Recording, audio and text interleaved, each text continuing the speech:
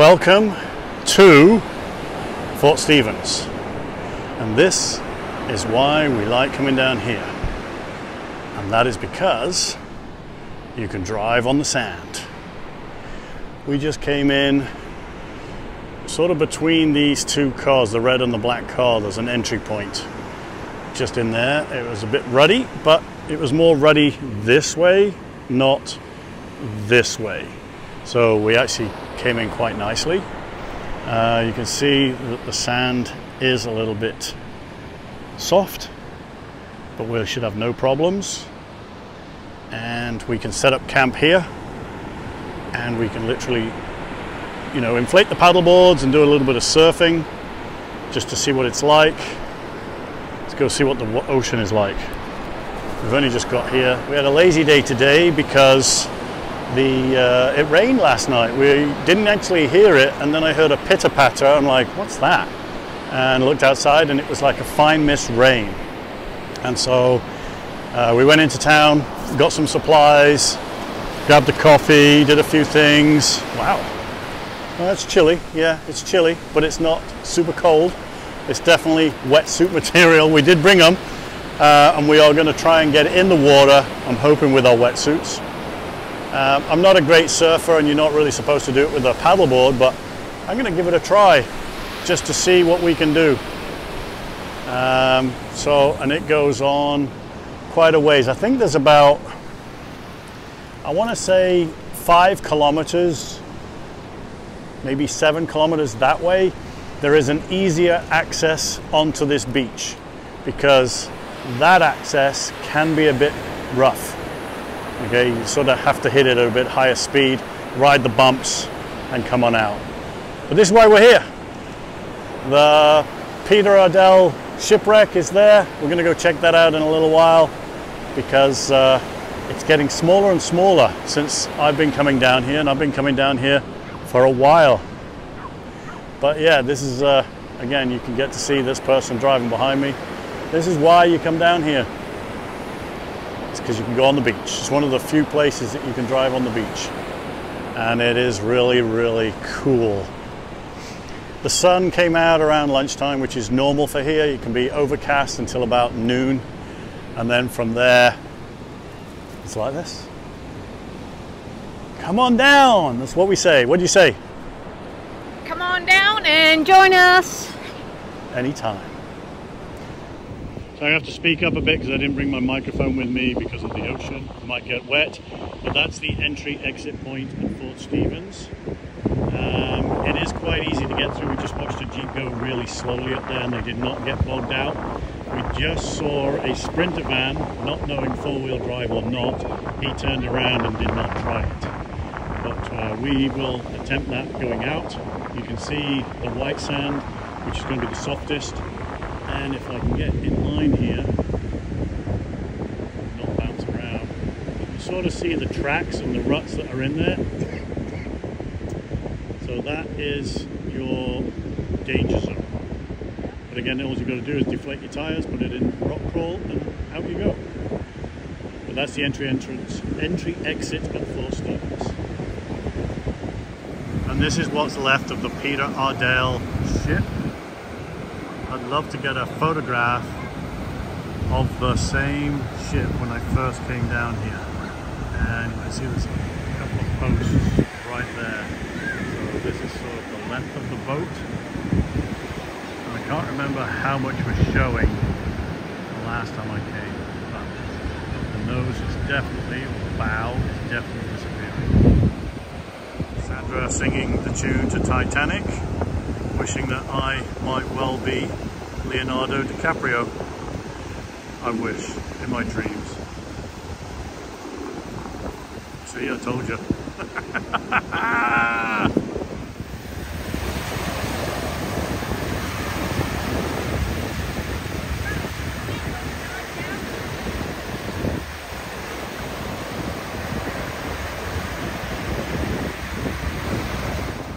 and we've deployed the Because the wind is coming from north to south which means it's on the other side of this windbreaker and it does help I was looking for something to push the bars into the sand, but no need. The sand is soft enough, I could push them in. I was actually impressed. Normally I'm beating those poles into rock.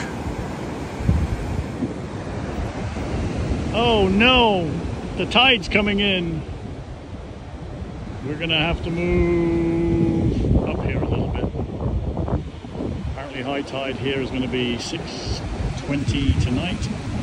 So I guess at 3.30 in the afternoon, the tide is coming in.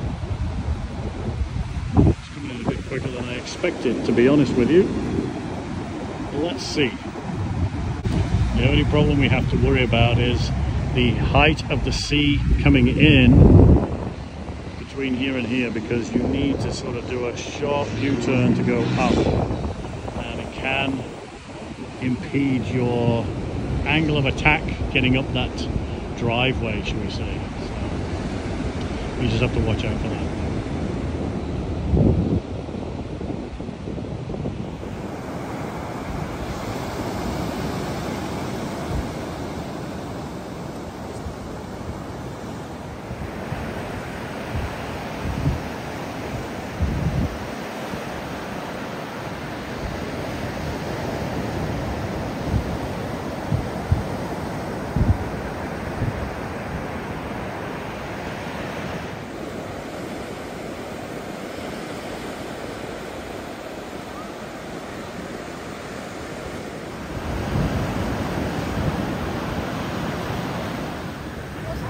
We got annihilated and we weren't expecting that one. That was a big surge. that got my bum wet. We're too busy watching a pelican strike the water and this one came right up to here. Look at under the truck.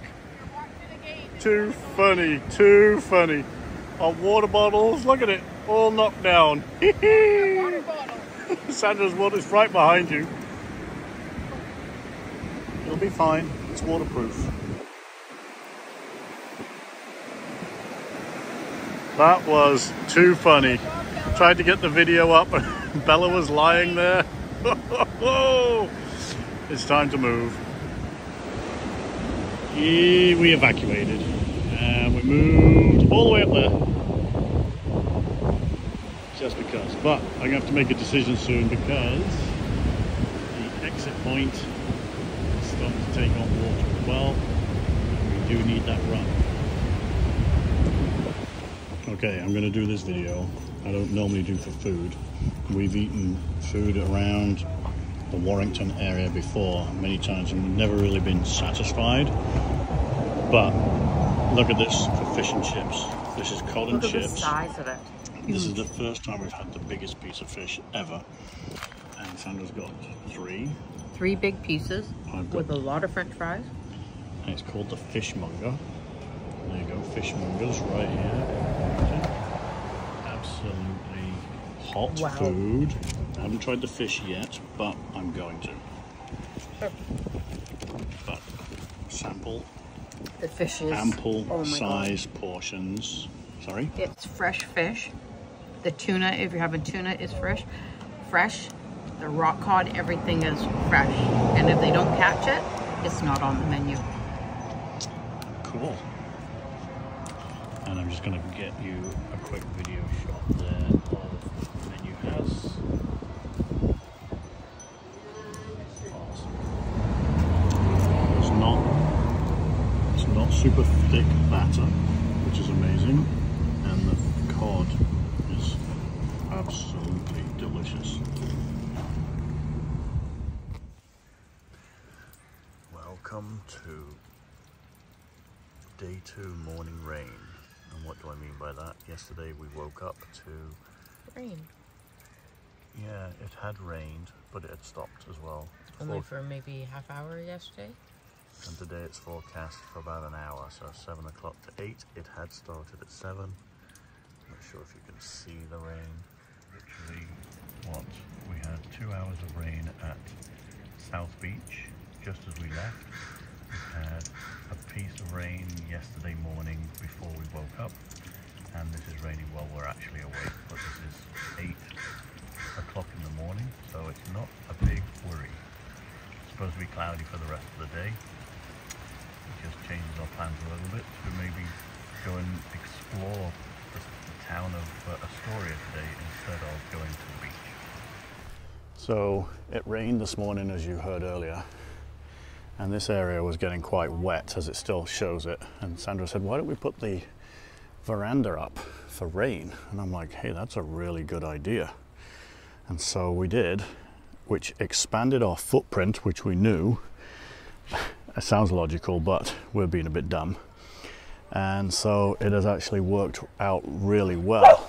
You can see here that we would normally be sort of sleeping or camping in that area with sort of that, which gives us a lot of room. But now that we've expanded the veranda from the kitchen area, please explore. Ex, please excuse Bella, she is getting excited because we're leaving. If I stand in the sink area, gives you an idea of how much more room we've actually had under here. So we can push our chairs that way. We just moved in to have our cup of tea and a rest. And it all drips off wonderfully. If I go and stand in the veranda area and look back, you can actually get a feel for how much bigger this is. So that's good. Um, it's still spitting. It is currently 11 o'clock and we're getting ready to depart. We still got our setup that we had at uh, Harris Beach. So we ice maker, fridge, microwave, toaster, uh, cooler. Uh, this extra line here is working really well for our chandelier light, but it's now hanging using as a drying rack because of our outside drying rack is outside, it's getting wet. We did deploy the uh, sort of warming skirt for our winter like we did in Harris as well to stop the sun coming in, but this is actually here to prevent the rain from coming and dripping down this area here. On my side. yeah, on Sandra's side. Well, we don't really come in and out on my side when it's wet because of this privacy shade that we've put up is working really well. So, just wanted to give you that quick update uh, on what we're doing today is probably going to just go around uh, town, go look at a few things. There's a sunshade that we're interested in. We're going to see if they have it down here. And other than that, we might go find the Goonies house. We don't know. We'll see. We'll see. We'll see what happens with that. Oh, it's a weird morning, but yeah, it's slow. Okay. And if I give you an outside view, it's very sort of smoky through the trees. If I go the other side towards the ocean, so if we're looking west, you can sort of see that it's very sort of misty. So today is going to be a weird day. We don't even know what we're going to do. And that's us. Come to Seaside, they said. We did, we said. Why, we said. We're crazy. Look at the weather. This one hour of rain or two hours of rain we're supposed to have had this morning has not stopped yet. Well, it has, it's been on and off, but it looks like in Seaside itself they have a massive volleyball contest, whether in progress or been rained off, I'm not sure. But look how big that center court, and then look at it all down there. Goes on forever and ever. Goes on for miles and miles and miles and miles. But there you go. Anyway, but Seaside is quite nice, it has a wonderful beach, and you can see the surf. rolling waves, the surf. I said to Sandra, we should get the paddleboards out and get the wetsuits on because you're going to get wet anyway. But this is Seaside's beachfront. But the pirate's not going in the water. Yes, Sandra has a sty in her eye, and I've nicknamed her Jack Sparrow today because she's a pirate. And she has a pirate's parrot right down there. And then if you go behind, this is the town centre, and there's a big amusement arcade and things like that. So we're going to wander around town today because of the wet day. So I got my plane right here and we're going to take it up the column and send it on its way. And again, this was walking around the column area. Got a wonderful view here of the bridge. And Sandra has her plane.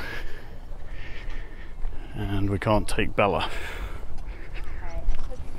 So we will put her in the car and let people up there sending their planes off. You get this wonderful architecture of the history around this area. It's quite amazing. Wonderful. I see a guy and a girl up there with a plane. Oh, there it is. Oh.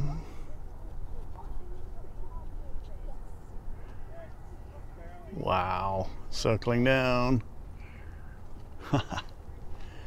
Let's see if we've got another one.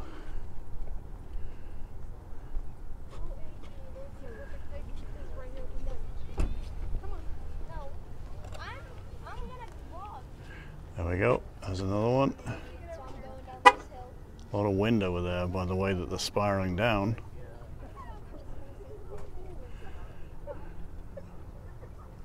And there goes another one.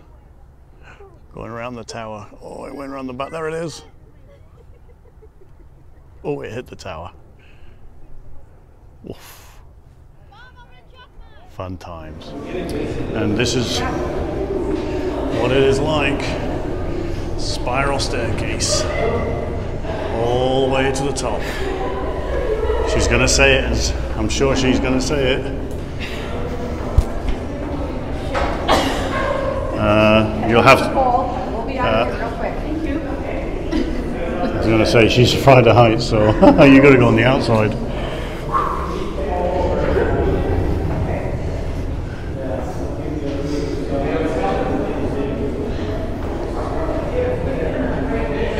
Climbing the Astoria column.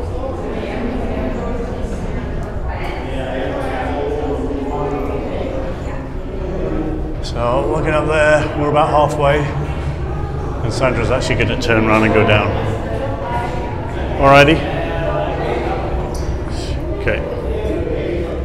Sandra's going to turn around and head back down, and I will see her from the top. And here we are, coming to the top, and there's 164 steps. There we go. Step outside.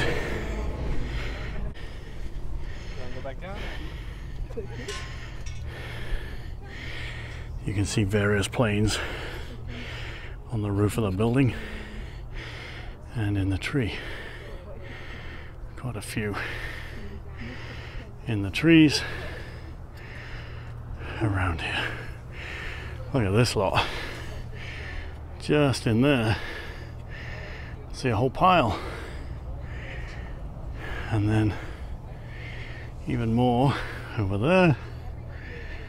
So cool. And if we have a look from the very top, we see the harbour.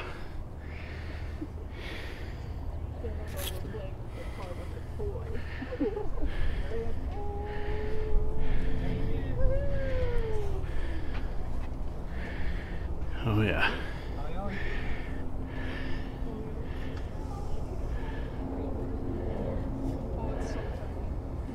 Oh, it's so.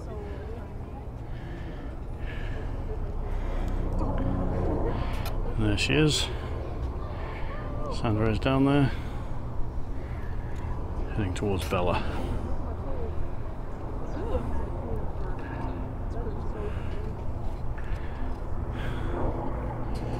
We're actually higher than this helicopter. Right there.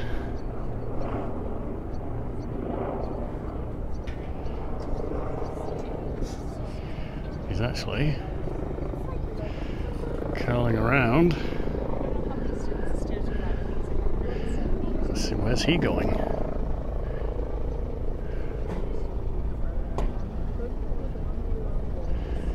It's going down towards the railway station. This is actually pretty cool.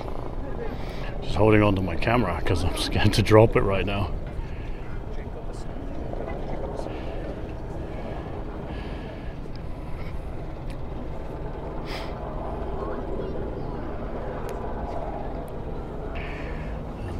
See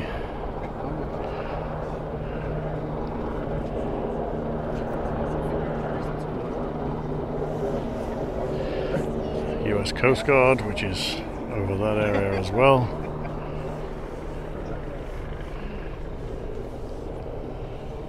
All right. There she is.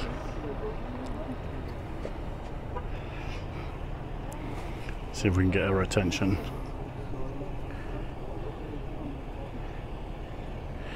She is waving back. All right, so let's fly number one plane. Here it goes, number one plane. And we'll see where it goes, shall we? Oh, let's correct the tail plane here. Oh.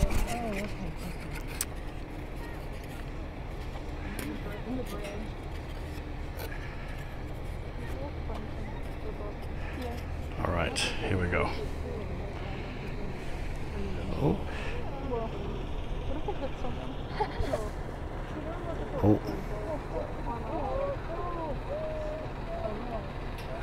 I think it landed. There it is, somewhere down there. Sandra's going to get her plane.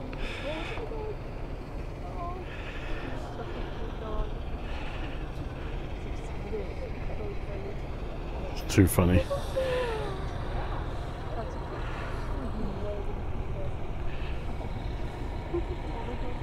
Just down there.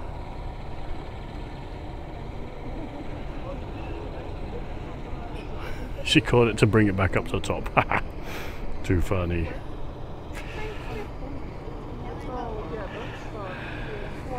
Give her the thumbs up. okay. Let's see. Oop. Let's see if we throw it this side. Okay. We'll throw it now down this way. Here we go. Wow, that's a good one.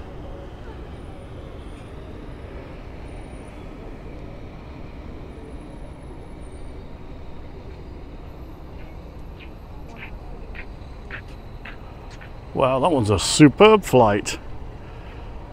It's still hovering and into the bushes. Could we hit that car? Ah, right down in the blackberry bushes. That was a pretty good flight.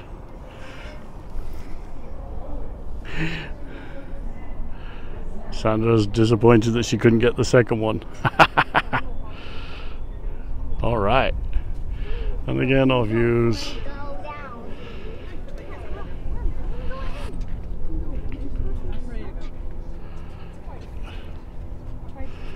Beautiful.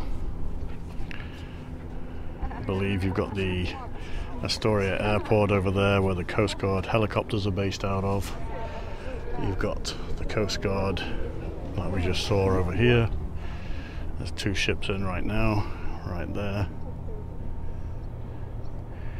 And I believe we're coming in here in a couple of years uh, on a cruise ship, and we're not quite sure where it's going to come in. And you've got the bar, I forget the name of it, it's not the Astoria bar, but there's a huge sandbar out there, which is one of the most uh, dangerous bars in US. And on the Washington side over here, you have um, a cape where they do all the lifeguard boat training because of this sandbar or because of this bar. And this bar is always moving. So um, it's going to be interesting to come in here on a cruise ship, come under the bridge, and we're not sure where it's going to park. We've never seen a cruise ship in here. And so it could be in that area over there, but we're not sure. Very cool. And if you ever want to go to a really cool museum, you have the Maritime Museum right there, And that is a really, really cool building. It's got lots of good information in there about the bar, about Coast Guard. This is a Coast Guard town. So, and apparently the Goonies home is somewhere in this area. We're going to go down and see it. And down we go. Go see Sandra and Bella.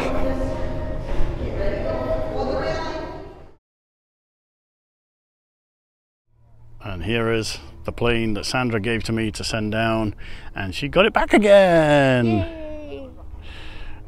And mine apparently is in a bush over there. We're going to see if we can see it. I got mine back as well, so we can play with these at the campsite. Maybe Sandra's got. Maybe Sandra's going to be a Red Baron, and I'm going to be Billy Bishop. There we go.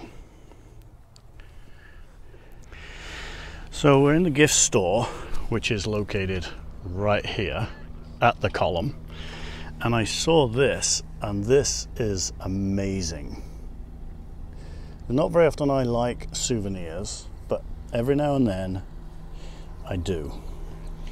And this is showing the shape of the state of Oregon with all the points of interest. Now we've done everything well, not everything, but we've done majority of everything on the west side. And this looks really cool. And we found out also, if I place this over to one side, and I know I'm going to make a mess of this.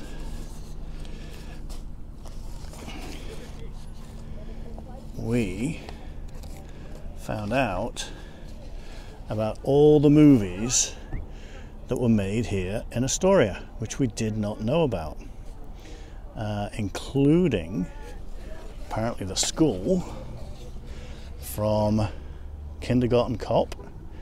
Uh, let's see what we can find here. Yeah, Kindergarten Cop. Um, the Goonies. You probably would know way more about this stuff than I would, because I definitely don't know many of these at all. Um, Free Willy. I thought that was all done in San Diego. I did not know that was here. Murder She Wrote. Look at that. Quantum Leap. There is a few I know here actually. This is really cool. So there is that, and there is the house for the Goonies, which we're going to go and find. And this is the gentleman that owns it, as you know, be respectful, this and the other. So giving us the address to go and see this. So just wanted to let you know about certain things that we just picked up at the column.